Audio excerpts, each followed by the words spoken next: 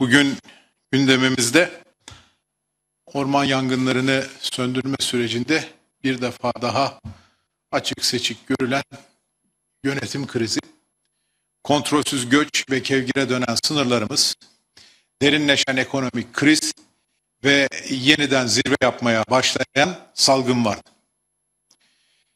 Ülkede yaşanan yakıcı buhranı aşmak için yapılması gerekenleri de toplantımızda tartıştık. Değerli basın mensupları çocuklarımıza, yavrularımıza daha ilkokul sıralarındayken tohumlar fidana, fidanlar ağaca, ağaçlar ormana dönmeli yurdumda diye şarkılar üretirdik. Ama ne yazık ki son iki haftada doğaya can veren, toprağı örten, kurda kuşa, börtü, böceğe ve her türlü canlıya ev sahipliği yapan ormanlarımız alevlere teslim oldu. Daha doğrusu beceriksizlikle, liyakatsizlikle, sorumsuzlukla alevlere teslim edildi. Bu son yangınlarda gördük ki orman yangınlarıyla mücadele etmesi gereken yöneticiler görevlerini layıkıyla yapmamışlar. Değişen iklim koşullarını, yeni riskleri dikkate alan uzun vadeli bir yangın önleme stratejisi hazırlanmamış. Yine gördük ki bölgemizdeki diğer ülkeler havadan yangın söndürme işini yandaşlara ihale edilecek ticari bir iş olarak değil, kamu görevi olarak ele almışlar. Kendilerine ait havadan yangın söndürme uçan filolarını devletin bünyesinde hazır etmişler. Burada herhangi bir yönetim ve organizasyon kamu görevi olarak ele almışlar.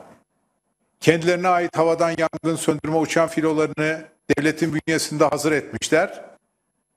Burada herhangi bir yönetim ve organizasyon açığına izin vermemişler. Bizimkiler ise kişisel egolar devlet aklının önüne geçmiş. Tarım ve Orman Bakanı ihale şartnamasıyla oynamış.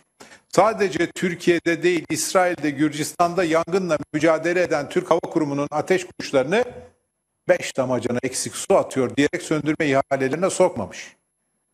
Elimizdeki uçakları Etimeskut'ta öylece çürümeye terk etmiş. Ülkeyi 20 yıldır yöneten Erdoğan hükümetleri kendi itibarlarını parlatmak için 13 tane uçan saray alırken Türk Hava Kurumu'nun uçaklarını hurdaya çıkarmışlar. Türk Hava Kurumu'nu borca batırmışlar. Mallarını, mülkünü de yandaşlara peşkeş çekmişler. Milli servetimiz ormanlarımızı koruyacak, yangın söndürecek uçan araç ihtiyacını düzensiz yıllık ihalelerle eksik gedik teminlerle çözmeye çalışmışlar. Sonuç karşımızda duran korkunç bilanço. 20 yılda yanan orman alanı 10 günde yandı. Türkiye'yi uçuracak denen ucube tek adam vesayet rejiminin zamanında uçuracak uçak bulamamasının milletimize maliyeti bu. Şu son tecrübe gösterdi ki bunların yangında ilk kurtarılacaklar listesinde ormanlarımız yok. Tarlalarımız, bağ ve bahçelerimiz yok.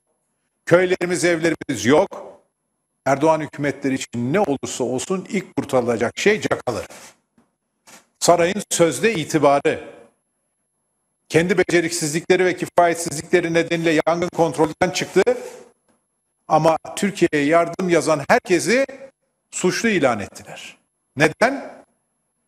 Çünkü Erdoğan'a göre yardım istemek Türkiye'yi fakir fukara gösteriyormuş. Ormanlarımız yandı kül oldu. Bunlar hala işin cakasında. Yangının hemen başında envanterimizde yangın söndürme uçağı yok diyen kifayetsiz Tarım ve Orman Bakanı dün çıktı. Yunanistan'a uçak göndermeyi değerlendiriyoruz dedi. Ya beyefendi herhalde milletin aklıyla alay ediyor. Son marifetleri de yangın bölgelerine gönüllüleri sokmama. Tırnağıyla toprak kazdı avuçlarıyla su taşıdı. Ormanına sahip çıktı. Bu gönüllülerden kahraman evladımız Şahin Akdemir'i genç yaşında alevlere kurban verdik. Biz bu gönüllülerimizin hepsine minnettarız. Ama Erdoğan bu cesur yüreklere teşekkür etmek yerine yasak getiriyor. Neden?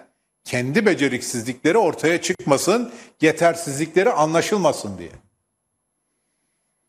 Biz bu yangında büyük çaba ve emek harcayan orman işçilerimize, itfaiyecilerimize, gönüllülere, mücadelenin tüm isimsiz kahramanlarına bir kez daha şükranlarımızı sunuyoruz.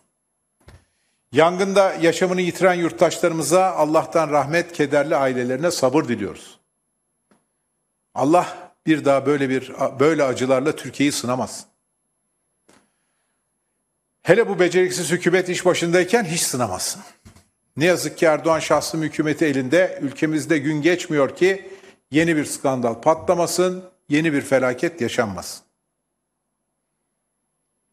Bir kere şunu hepimiz öğrendik. 20 yıldır ülkeyi yönetenlerin sevdiği tek yeşil var. O da doların yeşili. İşte maden için talan edilen, talan edilen Kaz Dağları'nın hali. Taş ocağı ve HES için perişan edilen Karadeniz yaylalarının hali. Ormanın dirisine saygısı olmayanların ormanın ölüsüne saygısı olur mu? Elbette olmaz. Bu nedenle yanan ormanların Erdoğan tarafından imara açılmaması için hepimiz azami dikkati göstermeliyiz. Sayın Genel Başkanımız bu mücadelede önderlik yapacağına söz verdi. Ama bu konuda toplumsal hassasiyetimizi de hiç gevşetmeden en üst seviyede tutmak zorundayız.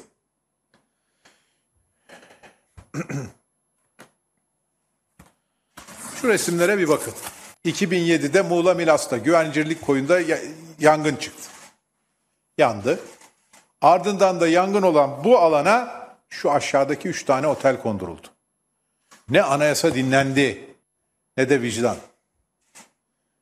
O dönemde Muğla Orman Bölge Müdürü bugün Orman Genel Müdürlüğü'nün helikopterine binip yanan ormanları yukarıdan inceleyen AK Parti Antalya Milletvekili. Kuzu kurda ormanlarımız da bunların rant iştahına emanet edilemez.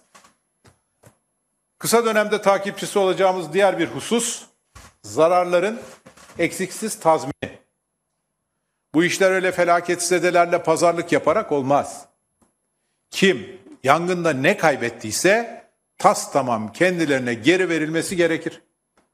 Yanan bölgelerin demografik yapısının değişmemesi için Muğla'nın köylerinde ve Toroslar'da yaşayan yurttaşlarımızı ata yurtlarında tutabilmek için her türlü tedbir mutlaka alınmalıdır. Bu dönemde bir çağrımız da yurttaşlarımıza özellikle Muğla yerli turistin rağbet gösterdiği bir ilimiz. Yangın nedeniyle otel rezerv, rezervasyonlarında önemli iptaller olduğunu öğreniyoruz. Orada bulunan belediye başkanlarımızın da ricası bu. Artık yardım göndermeyin. Buna ne olur tatil planlarınızı değiştirmeyin. Otel rezervasyonlarınızı iptal etmeyin. İptal ettiklerinizde yeniden yapın. Orta ve uzun dönemde ise çok daha zorlu görevler bizi bekliyor. İnşallah ilk seçimden sonra bunları yapmak da bize nasip olacak. Her şeyden önce iklim değişikliği başta olmak üzere artan yeni çevresel riskleri de dikkate alarak ulusal orman yangınlarını önleme ve söndürme master planını hemen yapacağız. Ormanlık alanlarımızın talan edilmesine asla müsaade etmeyeceğiz. İklim değişikliği ne yazık ki önümüzdeki yılların en büyük sorunlarından biri olacak. Ranta, taşa, betona ve borca dayalı büyüme modelini değiştireceğiz. Yeşil mutabakata uyum, Paris İklim Değişikliği Anlaşması'na taraf olma konusunda gereken siyasi iradeyi göstereceğiz. Orman yangınlarında kullanılacak uçan araç envanterini kamucu bir yaklaşımla oluşturacağız. Uçakların bakım ve idame görevini Türk Hava Kuvvetleri, Türk Hava Kurumu'nun işbirliğine, etkili bir işbirliği içinde yapmalarına bırakacağız. Bu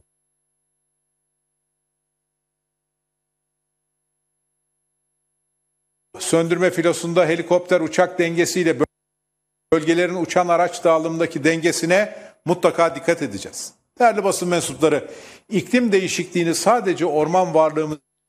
Bu sene ciddi bir kuraklıkla karşı karşıyayız. Özellikle Doğu, Güneydoğu ve Orta Anadolu'da. Kuraklık nedeniyle Orta Anadolu'da buğday ve arpa üretiminde verim kaybının %50'den fazla olacağı tahmin ediliyor. Peki hükümet her yıl artan bu kuraklık riskiyle ilgili olarak bugüne kadar ne yaptı? Şimdi Allah var 2017'de kuraklık yönetimiyle ilgili olarak 5 yıllık bir eylem planı hazırlamışlar. Ama o gün bugündür ortada plan var, eylem yok.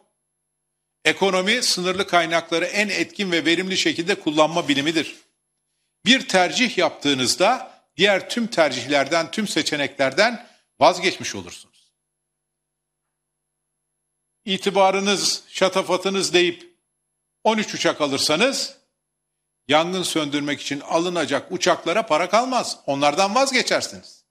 Yine sınırlı kaynakları Talan İstanbul projesine aktarmaya kalkarsanız gıda güvenliğimiz bakımından son derece önemli olan sulama projelerinden oradaki kanallardan vazgeçmek zorunda kalırsınız. Erdoğan 20 yıldır bu ülkeyi yönetiyor. Ama Güneydoğu Anadolu projesi bir türlü bitmedi. 2019'da bitecek dediler, söz verdiler, hala bitiremediler. Bu projeye göre 18 milyon dönüm tarım alanının sulanması hedeflenirken ancak 7 milyon dönüm alan sulanabiliyor. Gerçekleşme hedefin neredeyse üçte birinde kaldı. Konya Ovası projesi derseniz o da evlere şenlik.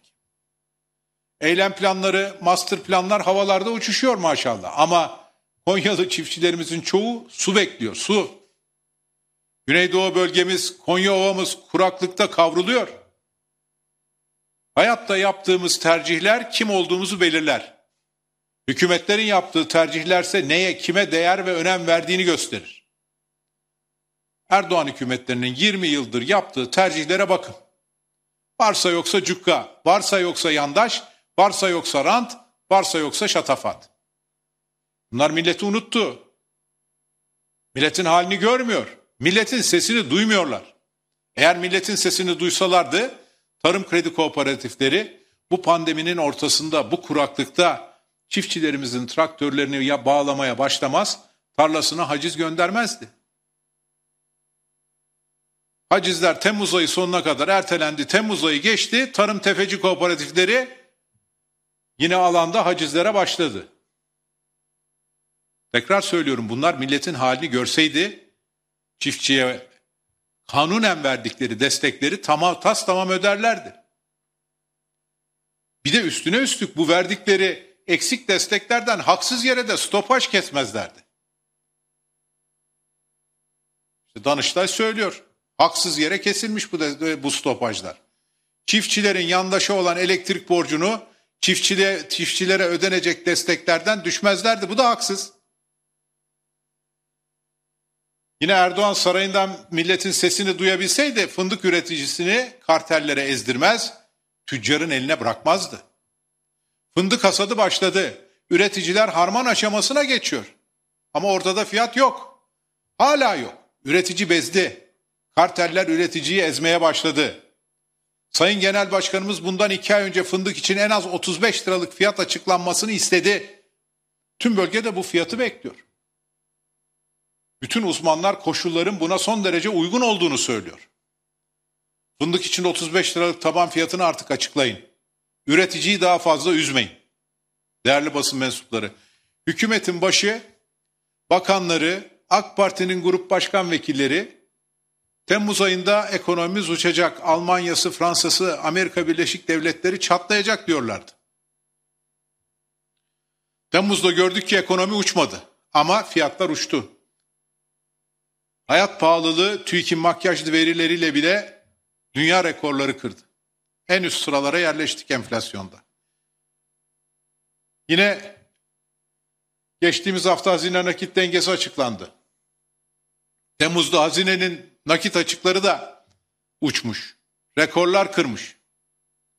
Temmuz'da hazinenin nakit açığı 67.9 milyar lirayla rekor kırdı. Faiz harcamaları hariç nakit açığı o da uçmuş. 46.2 milyar lirayla bir başka rekor kırmış.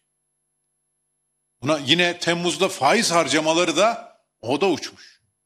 21,7 milyar lirayla yine rekor kırmış. E, Erdoğan sözde faize karşıydı ama faiz lobileri en çok onun döneminde abad oldu. Hazinenin sadece faiz değil, kur riski de bu dönemde şahlandı. Bugün merkezi yönetim borç stokunun %58'i dövize endeksli. Kayınpeder damat bir oldular. Ekonomide işlenmeyecek en büyük günahı işlediler. Kendi milletinden bile dolarla, avroyla borç almaya başladılar. Bunların yerliliği, milliliği işte bu kadar. Hazine vergi gelirlerini dolarla toplamıyor ki. Ama iç borç stokunun yüzde 25'i, dörtte biri bugün dövize endeks. Aynı oran, bu oran 2017'nin Eylül ayında sıfırdı, sıfır. E bir de bunun üstüne yerel seçimlerde ekonomide sahte istikrar algısı yaratmak için milletin 128 milyar dolarını buharlaştırdılar. Ülkede finansal istikrarsızlığın daniskasını yarattılar. İstikrarın olmadığı ekonomide kurdaki her oynama durduk yere hazine dengelerini alt üst ediyor.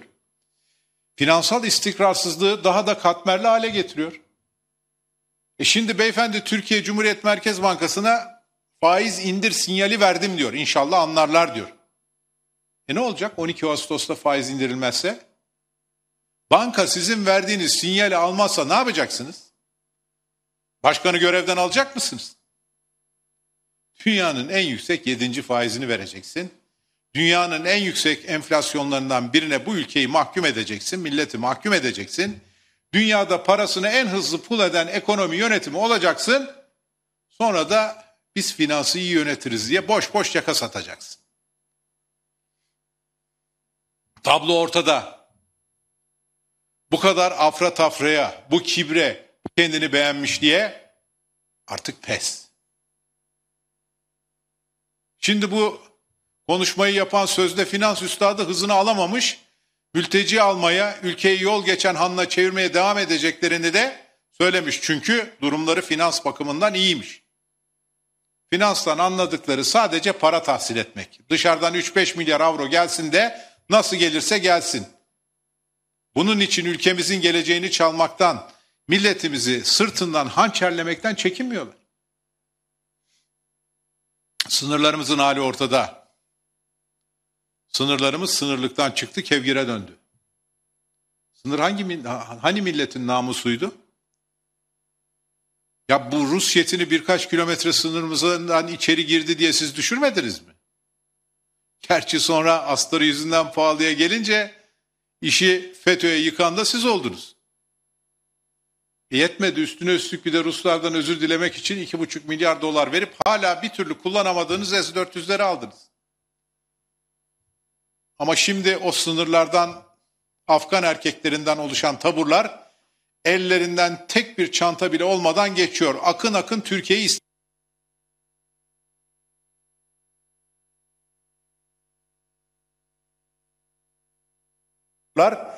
ellerinden tek bir çanta bile olmadan geçiyor. Akın akın Türkiye'yi istila ediyor. Hükümet nerede? Ülkeyi kim yönetiyor? Taliban ele geçirdiği bölgelerde tüm hapishaneleri boşaltıyor. Bununla ilgili görüntüler sosyal medyaya düşmeye başladı. Yarın öbür gün bu hapishane kaçkınları bizim şehirlerimize dayandığında ne yapacaksınız? Bu millete nasıl hesap vereceksiniz? Daha bir hafta önce sarayın iletişim başkanı Türkiye kimsenin bekleme odası değil demişti. Dışişleri Bakanlığı yeni bir göç krizine izin verilmeyecek diye söz veriyordu. Ama şimdi Erdoğan ne diyor? Mültecileri almaya devam edeceğiz diyor. Devletin kurumları başka konuşuyor, Erdoğan başka konuşuyor. Anlaşıldı ki devlet Erdoğan'ın kapılar kapalı kapılar ardında Amerika Birleşik Devletleri ile ne görüştüğünü bilmiyor. Konuşulanları bir tek Erdoğan biliyor. Bir de devlet teamüllerine aykırı olarak toplantıya alınan Kavakçı'nın kızı. Anlaşılan Erdoğan Amerika Birleşik Devletleri ile bir olmuş. Türkiye'ye kontrolsüz göçmen akınını kabul etmiş, teşvik ediyor. Amerika'sı, Almanya'sı, Avusturya'sı, Belçika'sı Erdoğan'ın sırtını okşasın, parayı versin yeter. Varsın ülkemiz işgal edilsin, Türkiye Avrupa'nın mülteci getosuna dönüşsün. Bu arada sınırlarımız kevgire dönmüş. Milli Savunma Bakanı çıkıyor. Kabil Havalimanı'nın işletmesiyle ilgili görüşmeler sürüyor diyor. E hayrola Mehmetçik ne zamandan beri başkalarının havalimanlarını işletir oldu? Sayın Akar bu millet Mehmetçiğine bugün sınırda ihtiyaç duyuyor. Siz gitmişsiniz Kabe'de egemen güçlerin taşeronluğuna soyunmuşsunuz.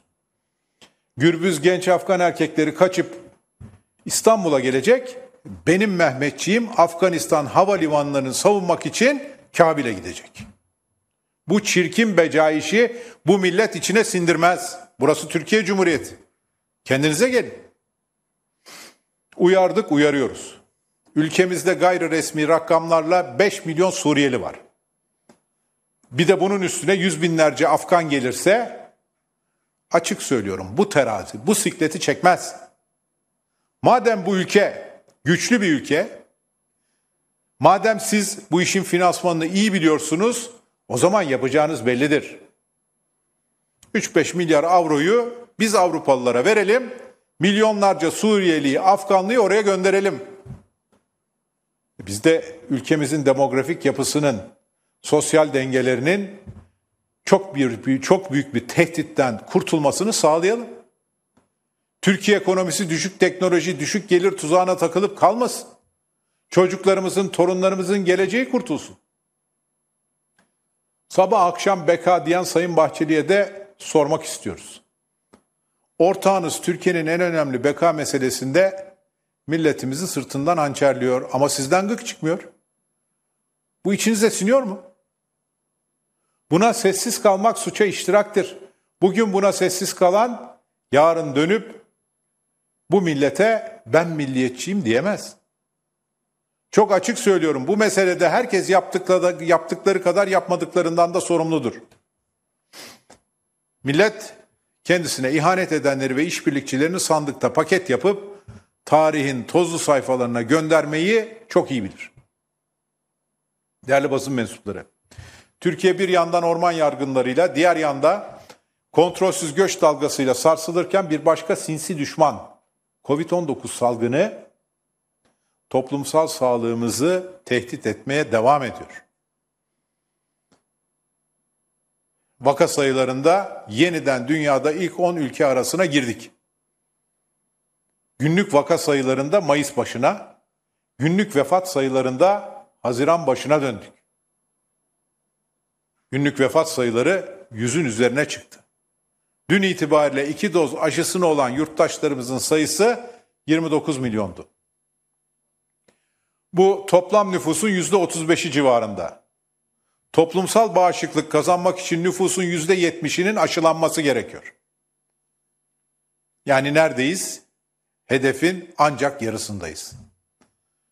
Oysa aşısı tamamlarının tamamlananların nüfusa oranın oranı oranı Amerika Birleşik Devletleri'nde yüzde 50, Yunanistan'da yüzde 51, Almanya'da yüzde 54, İtalya'da yüzde 55, İsrail'de yüzde 62. Bu rakamlar aşılamada geride kaldığımızı açık seçik ortaya koyuyor. Biraz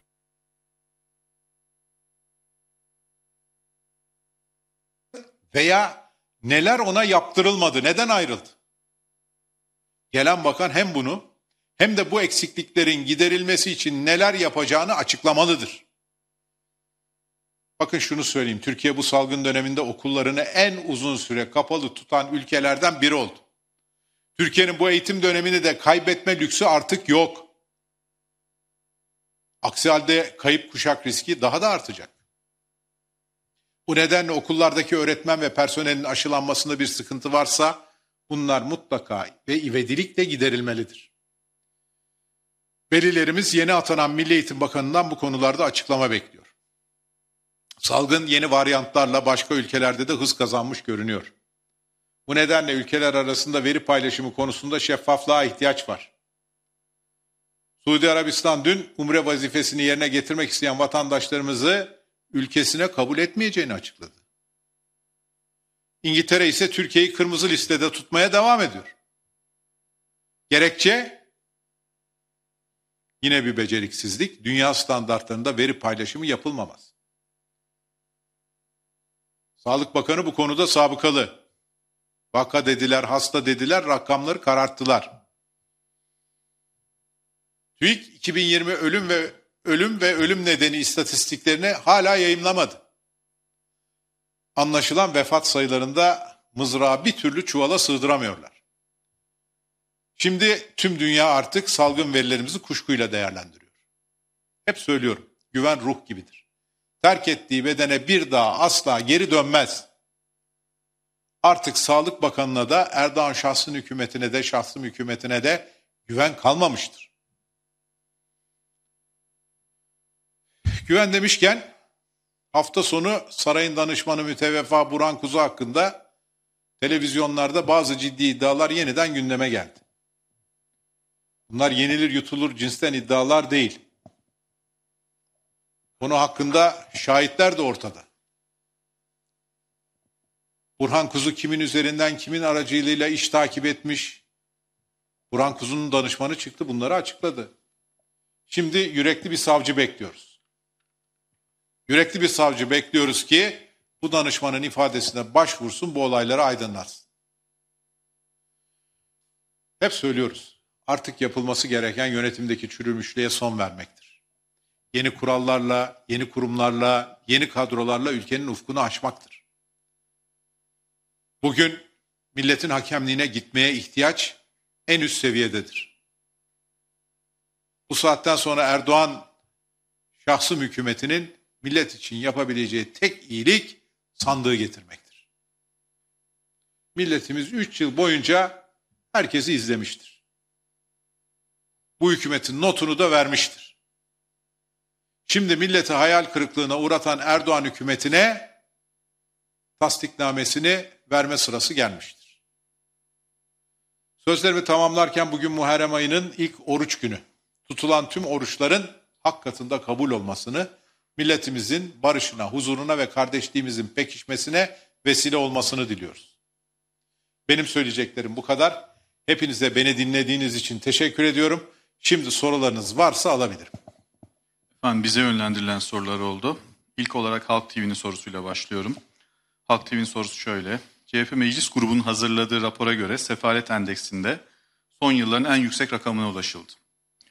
Bu yükseliş önümüzdeki aylara nasıl yansır? Sizin bu duruma ilişkin bir yorumunuzu alabilir miyiz? Yani şimdi sefalet endeksinin en önemli parametrelerinden biri işsizlik. Ülkemizde bugün itibariyle 9 milyondan fazla işsiz var. Geçen yıl sonunda bu 10 milyonu geçmişti. İşsizlerimizin sayısı 101 ülkenin nüfusundan fazla. Yine dünyada en yüksek enflasyona sahip 15 ülkeden biriyiz. Üretici fiyatları ile tüketici fiyatları arasındaki makas hiç bugüne kadar görmediğimiz biçimde açılmış vaziyette. Yüksek işsizlik, yüksek enflasyon fakir fukarayı daha da eziyor. Gelir dağılımını daha da bozuyor. E bunu engelleyebilmek için ortada ciddi bir program olması lazım. Yine bu programı uygulayacak güven veren bir yönetim olması lazım. Böyle bir yönetim iş başına gelmeden ne yazık ki bu sıkıntıları yaşamaya, bu göstergelerin daha da kötüleşmesini izlemeye devam edeceğiz. Efendim ATV tarafından yönlendirilen bir soru var. Soru şöyle. Bolu Belediye Başkanı Tanzu Özcan, CHP'lilerden kendisine gelen eleştirilere yönelik olarak partim beni nasıl durduracak çıkışında bulunmuştu. Bu e, çıkış genel merkezde nasıl bir yanıt buldu? Bolu Belediye Başkanı Tanju Özcan görevinin başında çalışmaya devam ediyor. Evet. Efendim ATV, Kanal 7 ve Ulusal Kanal'ın e, ortak bir sorusu var. Soru şöyle. Cumhurbaşkanlığı adaylığı tartışmaları ile ilgili bu soru. CHP'nin adaylık için eski AK Partili Mehmet Şimşek'le görüştüğü iddia edildi. Bu iddialar doğru mu? Şimdi iddianın ortaya atıldığı kanal CNN Türk. Bugün bu soruyu soran kanallar ise havuz neredeyse havuz medyasının tamamı. Manzara açık. Öyle görünüyor ki saraydan ellerine kendilerinin çalıp kendilerinin oynayacağı bir senaryo verilmiş. Bunun üzerinden yeni bir sunni gündem harekatı başlatmaya, milletin asıl gündemini çalmaya çalışıyorlar. Allah akıl fikir versin. Başka bir şey söylemeye gerek yok. Teşekkür ediyorum.